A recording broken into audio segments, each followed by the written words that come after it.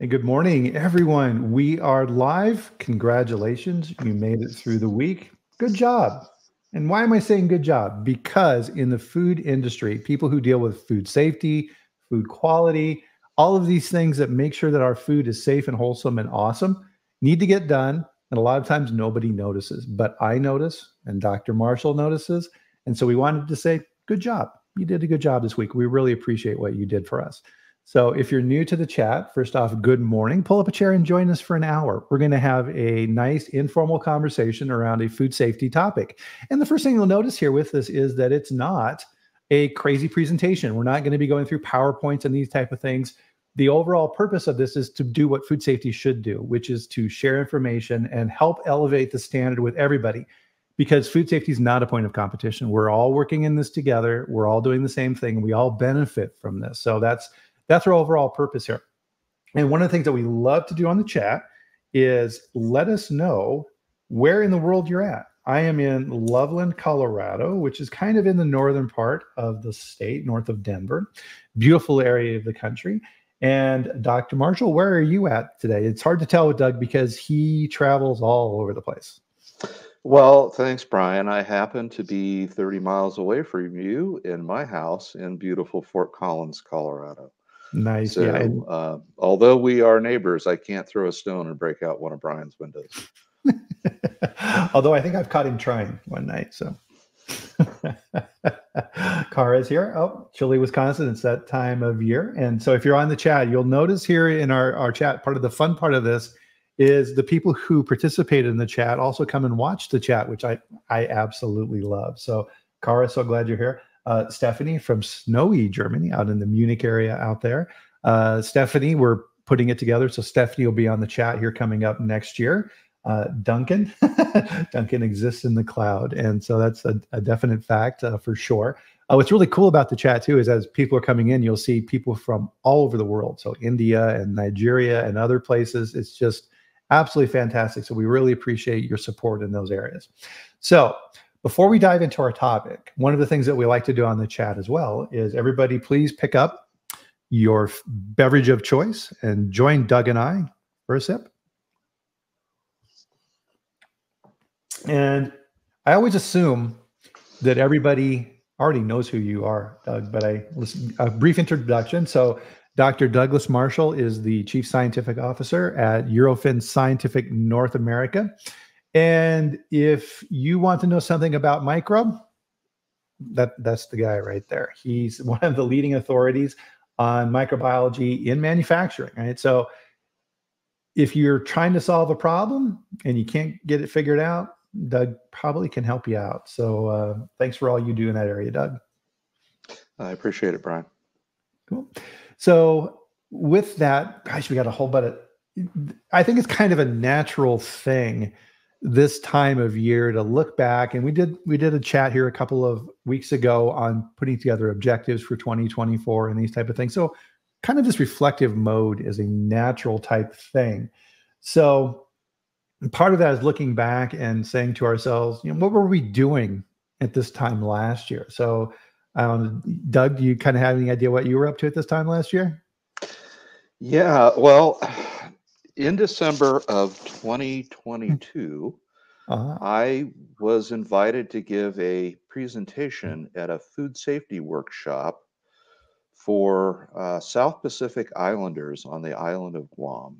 Mm-hmm. And this was a US government funded project. And the organizer invited me to go. And I said, Oh, wow, what a wonderful opportunity. Would, would be happy to. What topic do you want me to address? And the organizer said, Well, you know, you're an international company, you do all this high tech stuff. Why don't you just talk about anything you want to talk about? And I said, Oh, well, this is the greatest hmm. invite ever because you know, I can bullshit for uh, hours on end if you want me to. So I was thinking, so they're going to be hit for this was a four day workshop. They're going to be hit with FSMA, with HACCP, with um, you know, risk assessments, all that kind of stuff. Why don't I give them uh, kind of a future look about how we are managing food safety today and, and how we will be doing it tomorrow? So I prepared this talk on the use of molecular methods for pathogen ID, for pathogen detection, for strain differentiation. And I also used the example of uh, where I spun up the third test for COVID in the marketplace in the middle of COVID, trying to save save the world from this hmm. dreaded mm. infectious uh, pandemic uh, virus. So that that was a talk that I put together, and I didn't know much about the audience. So I get get to the presentation venue, which was at the University of Guam, and the room was full of extension agents from all U.S. South Pacific territories. And so these extension agents, they're funded by your tax dollars to help out the citizens of these you know pacific island atolls that are us territories. And their job was to be the expert on on food uh, for their respective islands. And um, so i gave my presentation and it was just the most irrelevant presentation i could have ever imagined for that audience. It i mean it was way up here. And most of these people, if you think about uh, their existence, it's it's it's a poverty existence. So these islands, you can't grow food because you're on a coral atoll that's just basically sand, so it's highly depleted in in nitrogen, for example. So you have uh, whatever fresh food you can get. You might have a small garden plot. Um, you probably have an abundance of seafood, so that that's good. But you are solely dependent on that boat that comes once a month with the mm. shelf stable prepared packaged foods. Now, these boats will also carry fresh produce, but it takes them uh, at least a couple of weeks to transit the ocean to get mm. to mm-hmm. that island. So that produce is usually highly deteriorated when it's presented to the um, population. So even fresh produce is difficult to come by. And I was talking to these county extension agents and I said, what what's life like on your island? Teach me.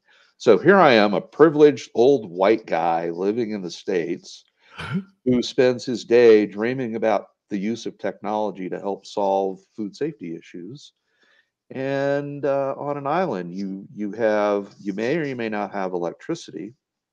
If you have a refrigerator, you probably only run it um, for six hours a day because mm-hmm. you can't afford to pay the electric bill.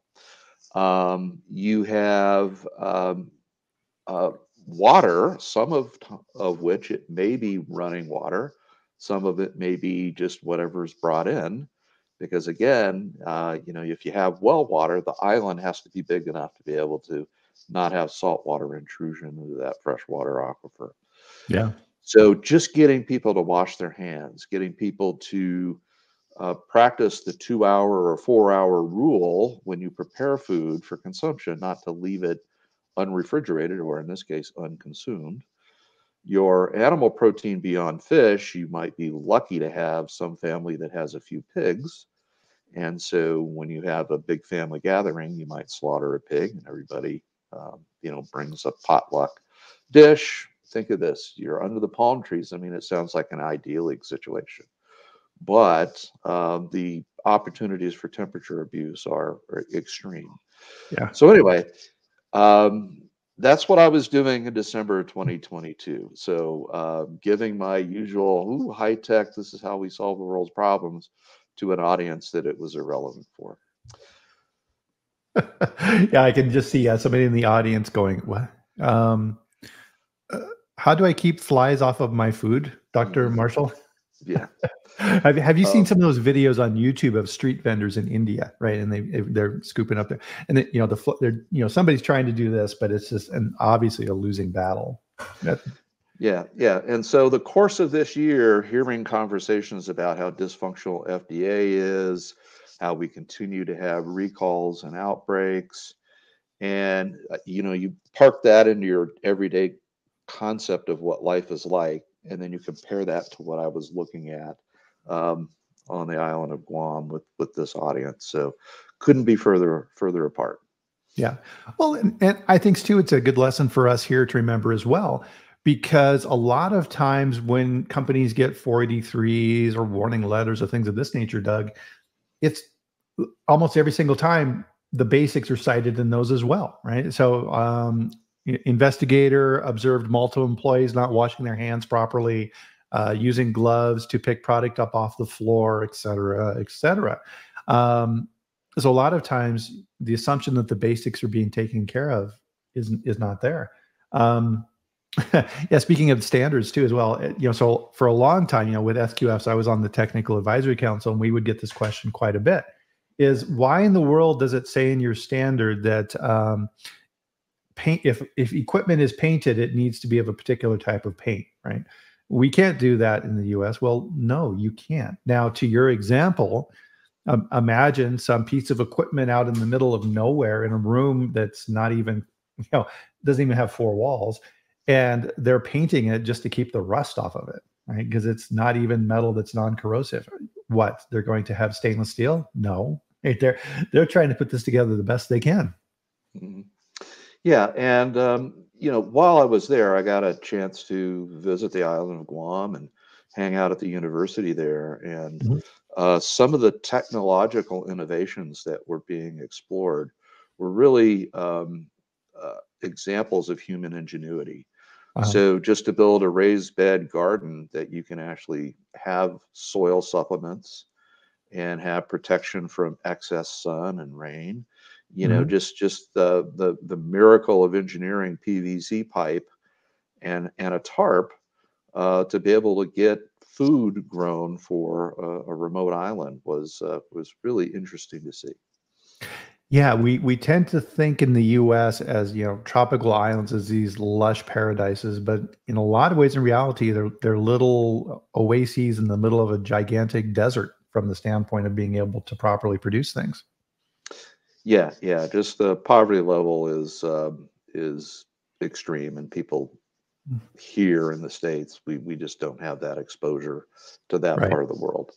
And, and, and people so, forget that these are U.S. territories, so um, we are responsible for their well-being. Yeah, absolutely. That's part of the deal. And yeah, that's a, a good segue then into our conversation here for today, right? Which, as as you're kind of listing off these type of things, right? It's like okay, food that's sitting out all day, right? So you can picture the family gathering with with the barbecue pig in the pit and all these type of things, and then all the side dishes that are sitting out and pathogens growing all day long in this high heat and humidity, just just waiting to infect somebody. That's not a pleasant scenario, that's for sure. Um, and so with that as well, you know, it's we really can't throw stones either because a lot of it, and this kind of gets to our topic here for today, is we keep kind of seeing the same things over and over again, and these things keep coming back. And so we pulled out some particular issues when we were prepping for our call here today to talk about. And so some of the current issues that are definitely catching my attention, and uh, if you're on Twitter, uh, Frank Yiannas is quite active on on Twitter now, which is good, and he's been commenting on on some of these topics quite a bit as well. And the first one that caught my eye is is a repeat, and so of course here in Colorado we're we're very sensitive to this with Jensen Farms, is uh, cantaloupe. Oh, all right, we've got more issues with cantaloupe. Yeah, so I feel sorry if if if you're in the business of growing or processing cantaloupe because um, we continue to have salmonellosis and listeriosis outbreaks associated with that particular product, and it's pretty well known what the the the fruit issues are. So you've got a absorbent rind that mm-hmm. is difficult, if not impossible, to clean, let alone sanitize. Um, you have a edible pulp that is high pH. So unlike most fruits, um, you don't have pH as your friend in the edible tissue of the cantaloupe. Mm. And so uh, I think one of the contributing factors, obviously, are agricultural practices. So I've been in uh, growing areas working with uh, farmers and packing houses of cantaloupes over the last 10 years. And it's kind of the recurring themes that I see are um, uh, there is an interest in growing organic. And so mm-hmm. I literally have seen 30 foot piles of turkey litter sitting on a vacant lot that is used to amend the soil. mm-hmm. prior to a growing season. So you can tell me what kind of pathogens are in turkey litter. It's not um, uh, properly uh, ensiled, meaning it, it has not been fermented to get up at a pasteurization temperature or at a inhibitory pH. So it's just broadcast on the field and the seeds are planted. And so you get uh, constant pathogen inoculation in those growing environments. Um, most of these, well, in fact, all the fields are flat. So anytime mm-hmm. you have excessive rain and you have flood events, uh, I've been in examples where there was a um, Wagyu ranch, Wagyu beef ranch uphill from a cantaloupe uh, plots. Ooh. And when it rains, all of that uh, cattle refuse flows right directly onto the cantaloupe crop. Um, some of these areas have very shallow aquifers. And so when you drill an irrigation well, um, I was at a facility where um, the aquifer level was about four feet under the ground and uh, the wellhead was uncapped. Mm. And so again, if you get a flood event, where's that water going? It's going mm-hmm. right into the aquifer, or you run off on the field, goes right into the aquifer. And so the pathogen load in some of these fields was just, I mean, you could pull samples and you would be lucky not to find salmonella, for example. Yeah. All right. So so you've got good agricultural practice problems. And then when the melons are harvested, you're probably better off just dry packing the melons um, rather than bring them back to a packing shed where you go through a wash cycle. So the Jensen brothers uh, scenario was they uh, decided they wanted to wash their melons, thinking that that was a good food safety intervention, and it actually uh, exacerbated the problem because you're rough handling the melons. Some are going to break. They're going to re- release all their high nutrient juices. You're going to contaminate the outside of the rinds. You may or may not be using an antimicrobial in your wash water. You're probably doing it in an open packing shed. I was in a, uh, a facility where the drip line of the packing shed was dripping right onto the conveyor belts and right into the wash tub. Ooh. And there were birds everywhere. So every time it rained, all of that uh, salmonella load was going right into the processing system. Hmm. Then you wet pack the melons. Yeah. Uh, so now you've got a great environment for listeria to grow. So yeah. you cool them down, they're wet, they've got uh, cantaloupe juice all over the outside, can multiply and grow. And then, Bryan, as you said, I travel a lot. And so every Hampton Inn, every hotel breakfast buffet, they usually have one fruit that's chopped up, ready to go, and that's cantaloupe. Yep. Um, how long it sat on that buffet, who knows? If I go to the grocery store and I want to buy fresh cut, ready to eat fruit, usually I buy a plastic. You can find a plastic cup full of cantaloupe. How much temperature abuse does that happen? Either uh, during transportation, during retail display at somebody's house. So, you know, every single one of these risk points can contribute to um, whether or not we have an outbreak scenario or not. Right, and and those pre-cut pieces of fruit that are very convenient uh, are a great way, right? When they're preparing that food, any any pathogens are sitting on the outside of that rind and then they run that knife through there and they're contaminating all those surfaces. It's kind of the same as why is hamburger more risky than a steak? Well, it's because you're mixing it all up and putting the pathogens everywhere within that product. You just multiplied that surface ratio immensely with that product. Uh, it's kind of like uh, Duncan is saying here, right? Is uh, it's like people washing their raw chicken in the sink, right? And and on YouTube, there's you know complete videos where people critique chefs and all the mistakes that chef makes between you know raw area and cooked area and how they're cross contaminating things within all of those. And you just go ew. Yeah but remember those guys and gals they're entertainers. They're not professional food safety experts like our audience today. Right exactly. Um, so uh, Gigi, which is very very good to see her. Nice to see you. uh, had a comment in here. Let's see, trying to write a message in the chat, but it's not working. So she was a food inspector in Brazil, and it was a yeah. So she's pretty much saying here that yeah, it's a, she's backing up what you're saying here. yeah.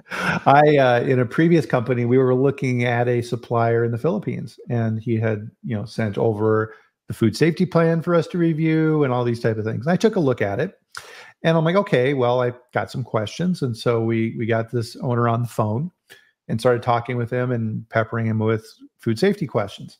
And after a while, he stopped us and said, "Hey, hey, listen, Bryan, I, I, I got to be honest with you here.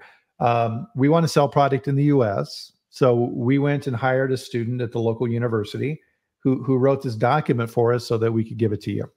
I don't. I'm not really that familiar with what it says. Um, yeah, right? You have to double check this stuff.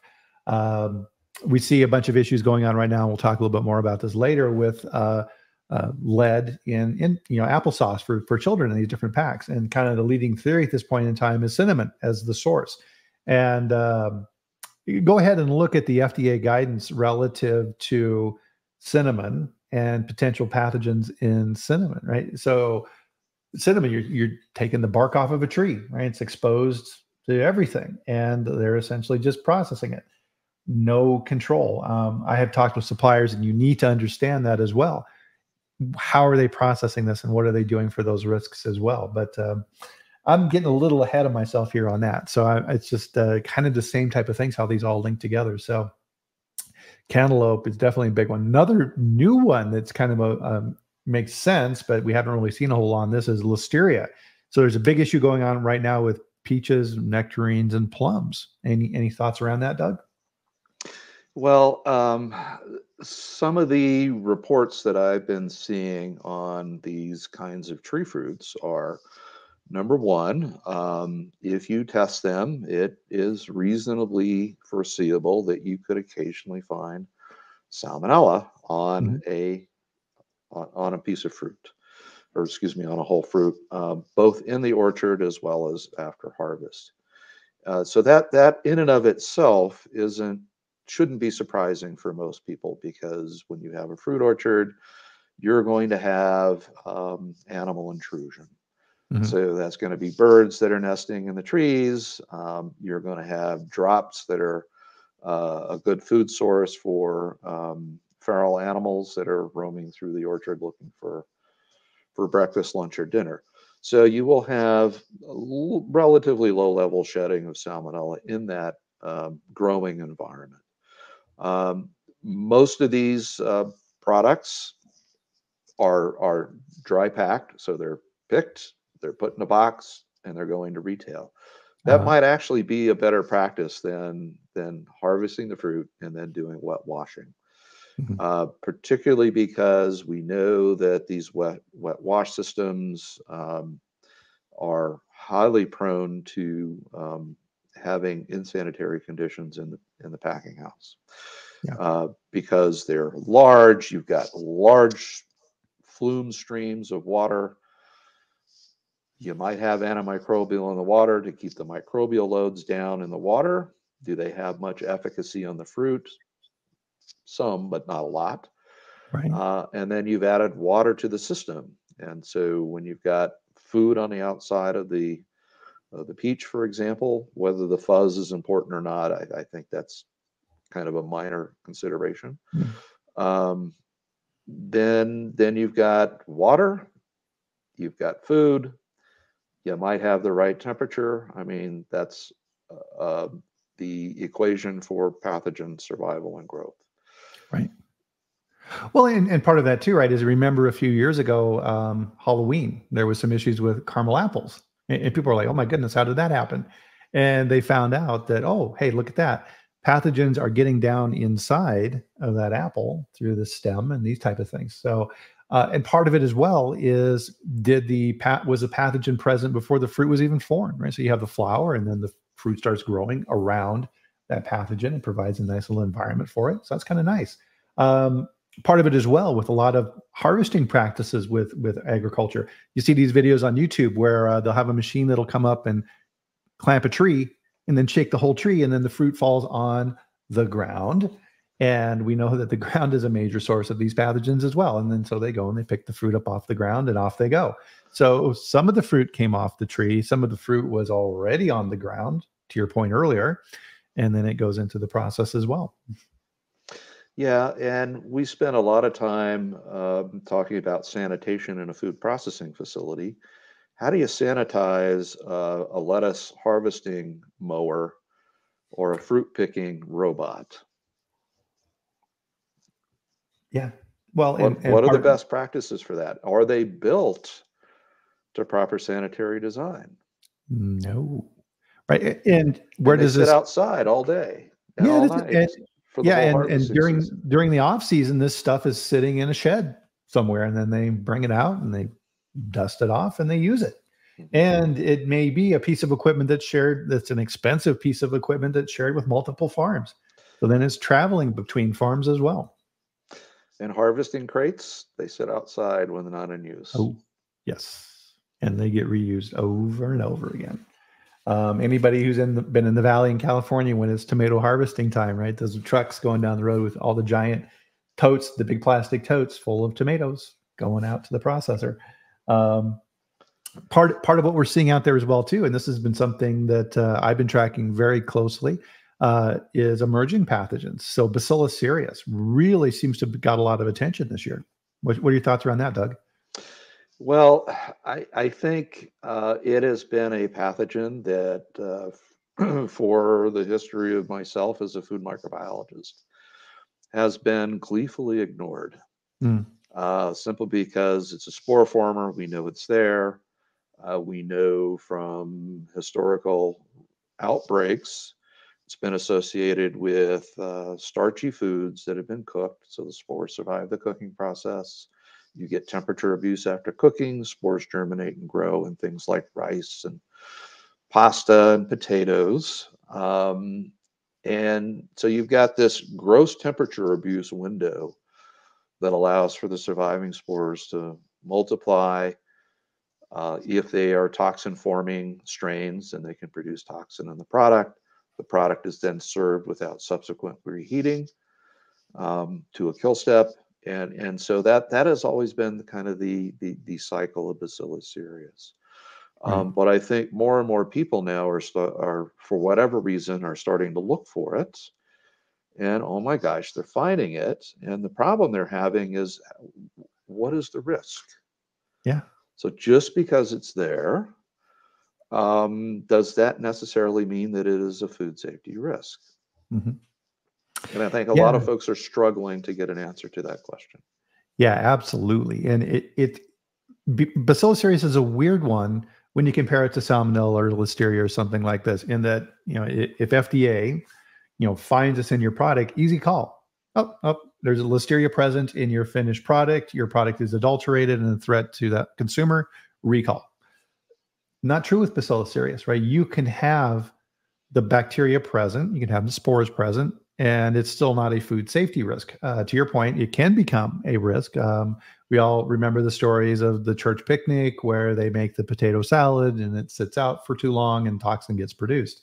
It's and that's kind of the wrinkle in the whole thing with Bacillus cereus, is it's the toxin, right? It's like coagulase positive staph. It's the toxin that's produced, and some of the toxins that that Bacillus cereus produces are heat stable, and this is what I think is getting a lot of people and you have entire new categories of products that are popping up. And we've seen this in plant based products, beverages, where they've had recalls associated with Bacillus cereus for this reason.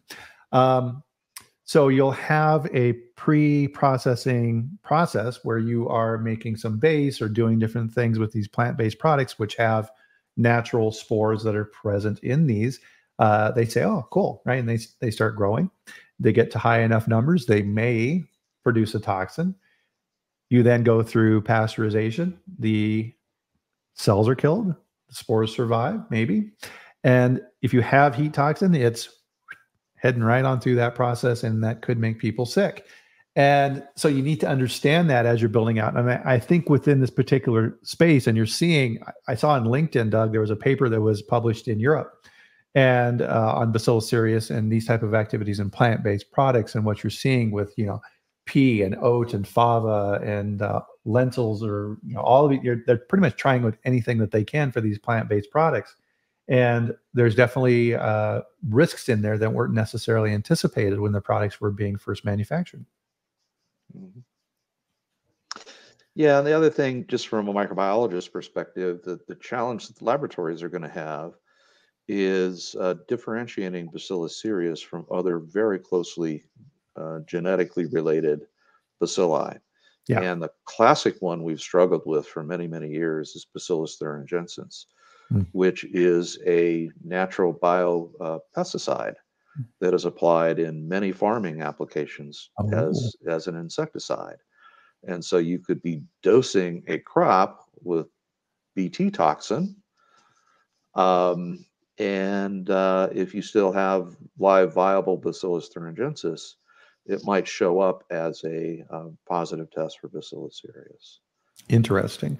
I know that um, there's been quite a bit of work done in that area with some chromogenic media in Europe that's just now coming over, which which helps to then you know split those apart but uh, if you're if you're working with a laboratory who doesn't know that then you could be getting some false positives so it's always very important when you're setting up these type of microbiological tests especially when you're starting to push the envelope in these areas that you're working with a partner like eurofins that understands these type of things and can help guide you to get the, the proper test uh, super important because um, microbiology as we all know in food manufacturing is very different than a lot of different things that operations is used to, right? So um, they're looking for numbers that are consistent. And if you look at the chemistry side of things, you know, pH and total solids and these type of things in products, you know, pretty consistent. Micro, not the case. it's it's spotty. It may be in some areas. It may shed. There may be a biofilm. The bacteria may choose not to grow during your test. And as as we all know, with with spore testing, that initial heat shock process of how you're actually preparing your sample critical right to getting those right results so you can have the exact same sample prepare it different ways and get completely different results so you have to be really careful with that yep understood so i mean so with bacillus cereus you know so we, we've seen some big recalls uh, so china has been seeing tons of issues with bacillus cereus so we've been seeing rice noodles uh, chili powder, we've seen some issues with spices on that side as well. And we talked about plant based milks. So, um, definitely, if you have a potential risk in that area, go back and look at your food safety plan and say, hey, did, did we did we actually look at BC in our products? And FDA BAM, the Bacteriological Analytical Manual, is a great place to start. Start looking at those type of things. Um, so we've been talking a lot about the micro side of things. Another one uh, foreign material again, right? We talk about food, say, you know, foreign material and products quite a bit here on the chat because I think it gets ignored. Um, but what are you kind of seeing out there in this past year relative to foreign material? Well, um, we, I'll, I'll, just give you some anecdotal information. We saw quite an uptick in um, uh, foreign material related to glove use um, mm. when COVID first started and um, so we had a lot of uh, a lot of work to try and identify um, the, that plastic material that was showing up in the products. And so we just had a proliferation of people now starting to use gloves associated with covid. So mm. um, and if you remember when you go to the target or the walmart parking lot what was littered on the floor of the parking lot? Yeah you had masks. mm. Uh, and so we've had a similar thing thing with masks, but um, foreign material uh, from a food safety perspective, it's it's usually not a significant contributor to public health. Um, mm-hmm. You could have a one-off or a two-off. Certainly, you're going to get uh, customer complaints when they can find a visual foreign object. But one thing uh, we have seen an uptick on um, is um, economic fraud. Uh, yes. So uh, remember, uh, the other thing that COVID gave us was supply chain issues.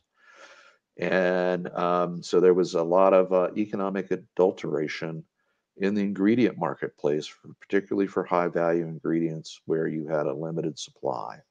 Right. And um, most people didn't care during the COVID era because they were just so desperate to get these ingredients so they could continue manufacturing whatever it was they were manufacturing. But now we're starting to see uh, some of these legacy issues with that practice. And so people now are starting to look. And sometimes the motivation for looking is because you've got an ingredient that you're using for its functional properties and it's failing in that use. And the question is why? Yeah. Um, and so usually it's because the product uh, has been adulterated with something else that diminishes the performance of that ingredient. And um, just some of the examples that we've seen here very recently would be things where um, uh, usually we're talking about powdered ingredients, things that just visually you look and you go, oh, it's a white powder. Okay, mm-hmm. it must be okay. Well, what can you substitute with? I mean, use your imagination, and it's not hard to find things you can substitute. You yeah. use it in your product, and let's say it's an acidulant, and you're using it to achieve a desired pH because that is your preventive control. And if it's been diluted with something else that's not an acid, now when you're using it using your formula recipe and then you go verify pH and the pH is too high, you know, the question is what went wrong? Was it a math error in the formulation? Was it a weighing error at the at the batch prep step? Or was it an ingredient uh, issue that you inherited from a supply chain? Yeah. So so that's just an example where economic fraud could lead to an out of control uh, food safety situation. Right. So, um, uh, quite frankly, most of us who live in the developed world, we tend to trust our suppliers. And if I'm a uh, nefarious um, uh, supplier, uh, boy, I sure would like to have that as my field of opportunity where people don't think about it, they're not looking, and they don't care. Right. So as a fraudster, that that is the best possible scenario under which you can work. Mm-hmm. So if you're a mm-hmm. food manufacturer and that is your posture, why wouldn't I want to uh, dilute my product 5%, 10%, 20%? How much can I get away with before I get caught? Right. And um, you may even, so yeah, let's say that you, you have some type of an oil in your process, sunflower oil or something like this. And, oh, Ukraine's at war, and that's the leading manufacturer of sunflower oil in the in the world, and you can't get it right. So your procurement people are scrambling, trying to find sunflower oil, and you may actually find real sunflower oil, and you check it and everything else, but you forget that it's old.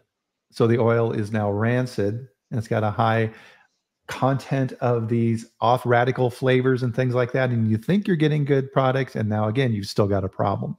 Um, so you have to be very, very careful. Part of this, and, and we've talked about this on the food fraud side of things on the chat as well, is hey, I want to buy from you. You're a new supplier. Send me a sample of your product, right? There's no guarantee that that sample you're getting in the mail is the same stuff that's going to show up at your plant. Uh, they may have a nice, pretty bag of material sitting in their office that they use for samples, and the stuff that actually arrives in the 40 foot container at your plant, not even close to the same. Mm-hmm. Yeah, the, the other thing that we're seeing, um, particularly this year, is uh, food that's manufactured for a high risk consumer mm. seems to be showing up in the press a lot here lately. And, and the high risk consumer in this case is infants and children. Yeah. So we've had a bunch of 483s issued to the infant formula uh, industries uh, due to the presence of Cronobacter.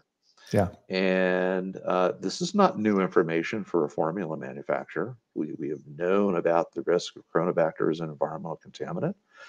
Um, but we have had these uh, outbreaks that have been associated with infant formula manufacturers. And so uh, when FDA has scrutinized those manufacturing sites, they have discovered a lot of opportunities for improvement. And uh, it's just really astonishing for me that that that was the current state of that industry.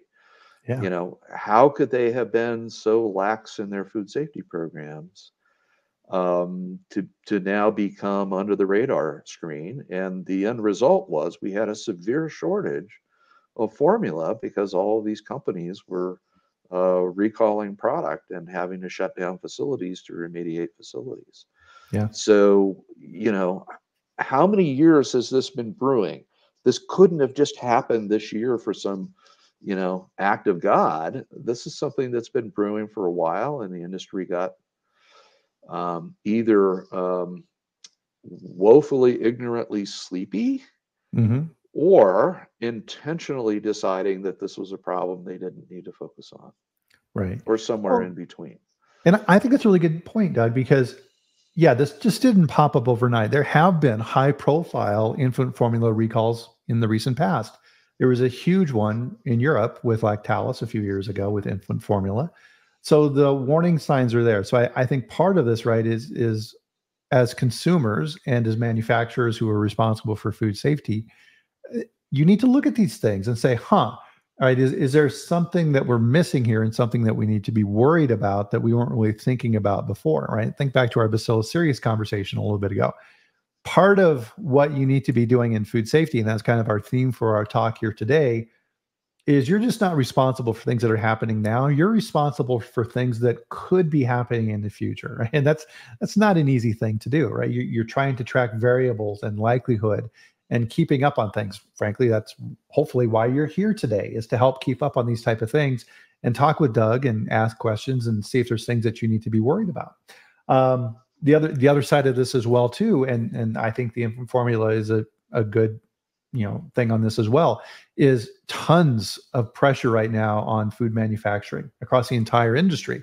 We all have gone to the grocery store and look at our bill and go oh, yikes right? Um, that puts incredible pressure my, my wife uh, the other week uh, had bought some new shampoo she ran out of shampoo went to the store got a new bottle of shampoo still had the old bottle compared it to the new bottle right you know where this is going hey this thing's you know hell this is 200 mils smaller than the old one, right? And they try and make it look the same, right? They're trying to figure out ways to keep that price point consistent. And that tends to really cheese consumers off when they see that. So now in the plant, and if you're responsible for food safety, there's going to be a ton of pressure if you're not already feeling it relative to the operational budget for that plant.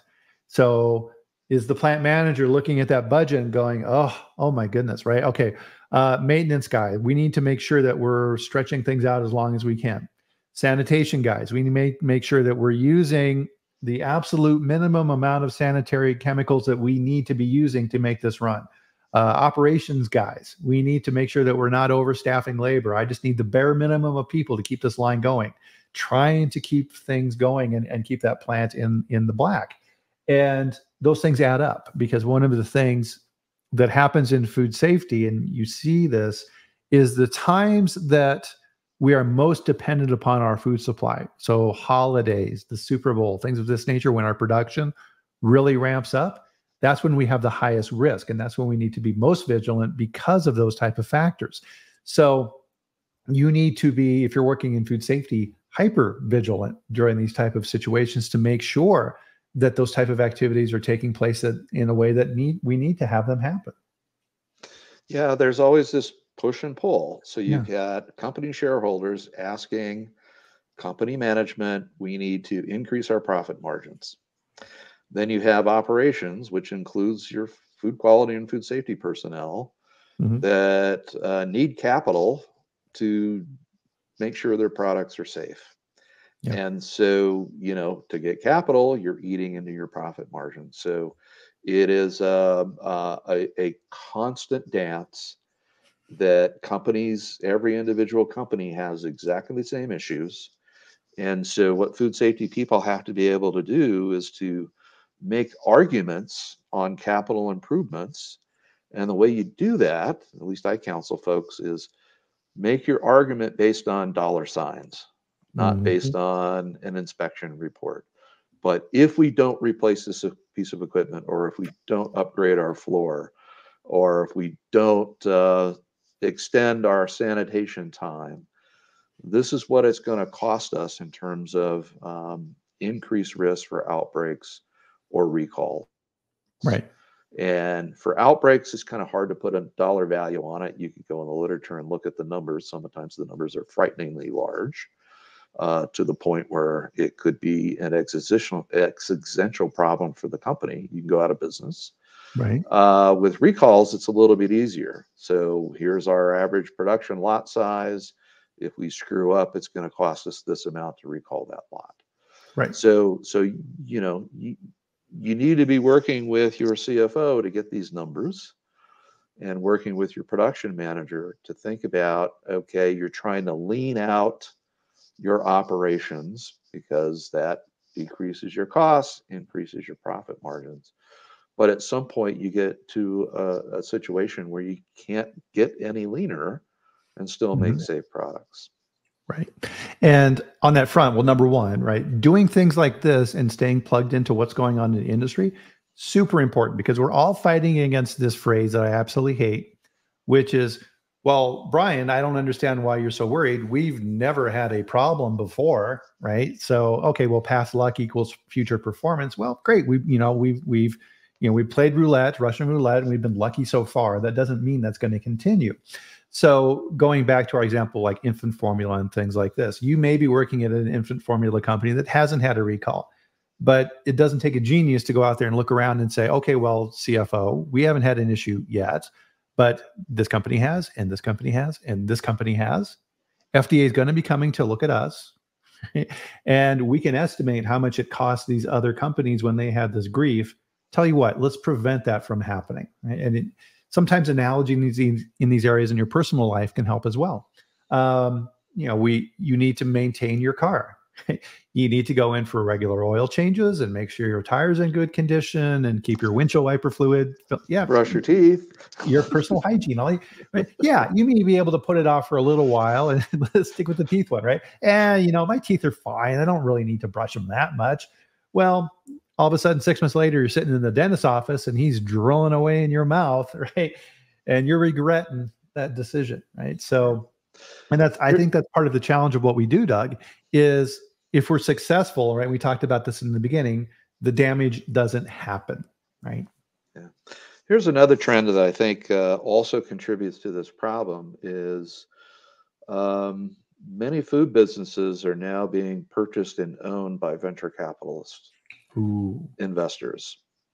And so these are um, companies that buy up brands. They are, um, most of the time, they don't have anybody on staff that has any experience running a food manufacturing facility. Mm-hmm. And many of these companies that are sold have a lot of deferred maintenance in the physical plant. And right. I mean a lot. Right. And so that might not be represented in the due diligence done by the acquirer.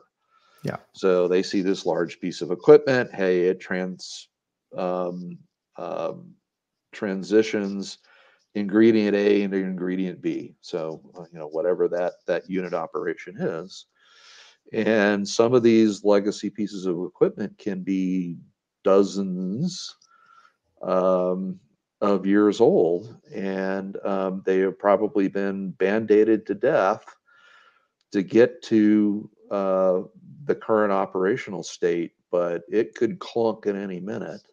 Yeah. Um, and so, do you keep putting super glue and band-aids on to keep that um, system running? It was probably built uh, to insanitary um, specifications, meaning you can't really get them clean and you can't get them sanitary. Right. Um, and then you go to the new owners and say, hey, we need, you know, uh, $2 million to upgrade the facility. How quickly is that conversation shut down? Yeah, exactly. Because two two points on that, and it's a really good thing for us to all think about. Is number one, a lot of times in food companies, the senior leadership is not from food, right? They they didn't come up through the plants. They didn't. It's a it's a CFO from a automaker or something like this, who now all of a sudden is the CEO of a food company. And to your point, when acquisitions happen, it's financial. And so the accountants come in to the company they're thinking about buying, and they don't want to advertise this. So they're keeping it low key that they're thinking about buying this company because they want to avoid a bidding war with potentially another purchaser of this company and they go into these special rooms that are set up, which have all the financials on the target company. And it's to the it's to the company's advantage that's looking at being acquired to make those books look as good as possible. So to your point, that two million dollar capex for that new piece of machinery that's needed, that's that's not going to happen, right? And all they're looking at is that EBITDA, right? The earnings before income tax, amortization, and depreciation. And they're saying, okay, well, what's what's your sales? What's your profit margin? What'd you pay in taxes? Okay, yeah, this is looking pretty good based upon all this and a multiple. And the financial guys all kick out a number, and then they decide that that's the right purchase price. Uh, to your point, then after the fact, all these little gremlins start popping up. Wouldn't it be a good idea to send someone in who knows about these type of things prior to the acquisition and say, "Oh, we've been to your plant. Uh, you have significant capital that needs to occur. We're going to deduct the cost of that capital from our purchase price." Mm-hmm. Right? A lot of times that doesn't happen. It's a critical move in companies to be able to do that um, because you know as food safety professionals, a lot of times we're the ones caught with trying to fix those problems after the fact, and on that side too, I've been involved with this as well. Is companies may acquire other companies. Let's say that you're a dairy company, and all of a sudden you acquire a juice company uh, because the CEO thinks it'd be a really great idea because hey, they're beverages. What's the difference? Huge, huge difference. I may not be qualified as a dairy food safety professional to completely understand what's even needed for food safety in the juice industry, and I've got to catch up really fast to understand those activities. And during that period of time, there's a risk and there's a huge gap associated with that because a lot of times during these purchases, the pre- previous leadership and teams, right? They're like, okay, well, we don't need you guys anymore, right? We already have a VP of food safety. We don't need two. So um, sorry, but you need to find a new job, right? And that knowledge gets lost. Mm-hmm. So trends. What um in our last five minutes or so here? I mean, tons of things going around out here. So um kind of a dealer's choice here, Doug. Whole genome sequencing, all these other type of things out there that are happening. Um, what what's catching your attention out there? Um, I guess from a personal perspective, the thing that irritates me the most. I mean, there are a lot of things in life that irritate me, but this is one that I think, uh, from a, a food safety perspective, is just baffling to me how poorly the industry uh, manages this problem and that is um, um, improperly labeled products for allergens. Uh. Uh, you know, leading cause of recalls every week goes by, and there is uh, an undeclared allergen issue on uh, with a food product. And um, although it's not an issue where we're going to have mass casualty events, it is a recurring issue for the industry. It's a recurring industry for uh, regulatory bodies, and uh, it just I'm just baffled at how poorly the industry is managing this, and has been managing this for years. So when I think about the future, um, what I would like to see is companies um, being better able to manage this problem. And um, it, it's not really that difficult. You know, we don't need sophisticated science to help us manage allergen declaration on labels. Uh.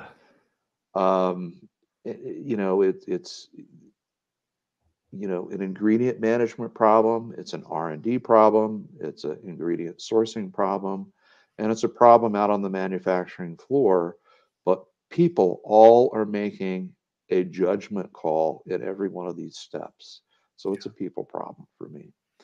So um, I would very much like to see the food industry um, solve this problem. It's it's a management problem. So we spend, I mean, I spend almost every waking moment dealing with pathogens. But from a personal perspective, it annoys the hell out of me because I've got family members who have food intolerances. To to to be playing Russian roulette every time I go to a restaurant or every time I go to a grocery store, I'm looking at menu items and ingredients. I am 100% reliant on that declaration for the safety and well being of my family. Yeah. And when I have so little faith that the food industry, quite frankly, I'm going to use some French here, gives a shit about this, it continues to be a problem for my family. Yeah. And and when you think about the consequences of a household, if you have just one individual who has one food allergy, the orbit of that individual also now has to change their behavior. Right. So it's not just that one individual who has uh, a sensitivity; it now becomes the problem of the whole family, mm-hmm. and and and so um, it, it's it's not a happy situation for me. Yep, absolutely, and I, I think you're absolutely right because for the for the labeling piece of it, it kind of breaks down into two buckets. There's the new products that are coming down the pike and then there's changes to existing products so a lot of times right the r&d guys they're doing bench tops and they're changing stuff and tweaking that and a lot of times the labeling doesn't follow suit or there's a change in the manufacturing plant where the printer of the package it changes from one company to another because they're a lower cost and you have a change in that that may not be checked off on or you have old packaging material that's sitting in the warehouse. And oops, we forgot to order packaging last week. Hey, there's a roll of film back in the warehouse back there. Go back there and grab that. And it, it, if you start asking those questions, and, a lot of times with food safety professionals, it just comes back to this question of, hey, this um, new label that we're putting in the plant, who checked that? Right. And a lot of times you'll get this. Nobody's checking it. Or, and I, we've seen this time and time again, and this is a major. This is one irritates me. I won't name the company, but major snack food company, and they've had over the past few years multiple recalls for allergen mislabeling. Those are all, to your point, Doug, system failures. And when those occur at someone like yourself who is very, very concerned with these type of issues, because it, this all comes down to people. Everything we're doing comes down to protecting people. And if you don't have that level of trust, it's gone. Right. Once that company has shown that they're incapable of managing this correctly, you're not going to buy from them again. Um, the the radical analogy I use because it's very obvious for us as Americans is going to foreign countries on vacation with a less than stellar reputation. Boy, our guardrails go up big time, and we're very very careful. We don't want to get in that situation, and I'm sure no one on the chat wants to get in that situation. So I, I agree. That's that's one that irritates me, and as well because that's always in the top three, and it's completely preventable. And and and soapbox. Um, what, what's kind of cool, and this has caught my attention recently as well too. And you know, are they good? Are they not? I don't I don't necessarily know how accurate they are, but because of this trend, and to your point, Doug, this trust issue, you're seeing companies now that are filling the gap, and you have home test kits. There are, for example, now home test kits for gluten, where you can stick your sample of food in there and see if, what that can, what that manufacturer is saying is really true. Yeah. Um, so these little lateral flow strips that we all became familiar with when we were doing self-administered COVID tests, they are handy. Uh, they they are sort of easy to use, but I kind of struggle with how do you present a sample that's a solid food to a lateral flow test strip. Yeah. So um, you know, it's I'll just and I'm biased. I work for testing labs, so you know, keep that in mind too. But you know, it's possible for you, Bryan, to do uh, brain surgery on yourself. But is the outcome really going to be what you expect than if you went to a neurosurgery center? Yeah, exactly. Um, that that's a great uh, one to end on there to get everybody thinking about that. So we're almost out of time here, Doug. Unfortunately, great topic here today. Any any thoughts you would like to leave with people here for the end of the chat? Well, uh, all I can tell you is my year started out doing all kinds of um, out of control pathogen uh, scenarios in food manufacturers. So the first two thirds of the of the year, I was on the road basically every week doing troubleshooting. The last third of the year, for whatever reason, um, things have cleaned up. Hmm. So um, I, I, guess I will just use this as, as a positive um, observation that maybe at least under our client base, um, uh, all of the the drama has been washed out for this year, and I hope that carries over to next year for uh, everyone on the call as well. Yeah, absolutely. That's a, a fantastic resolution for 2024, right? Let's continue to protect the food supply for sure. So, with that, I wanted to put in here a couple of links, guys. So, Locals is the group where I share food safety information like we're talking about here today. And I'll send out emails, you know, two or three times a week on things that catch my eye. And of course, the other one is the new food safety chat database, of which uh, this conversation and supporting material with Doug and all of the other people, right? Over 150 chats now are available in that database for access at a time that may be more convenient for you or listening to in your car because an hour a week is a big investment of time. And, and we really appreciate you coming here and joining us for that. Um, so, with that, we'll bring our chat to a close here for this week. Uh, always a fantastic conversation with Doug is with us. So, thank you, sir. Always appreciate your patronage and your support here. And I know that everybody on the chat does as well. So, everybody, we appreciate what you do as well too. So, thank you for all that you do for food safety. So, another one's in the books. We'll move on and we'll do the same thing next week. And we will join you here next week at the same time, Friday at 8 a.m. Mountain Time, 10 a.m. Eastern for the next food safety chat, where we live stream on LinkedIn, YouTube, and Twitter. So, enjoy your weekend. Have a great time. And we will see you back here next Friday. So, Dr. Marshall, thank you very much, sir. And we'll see everybody next week.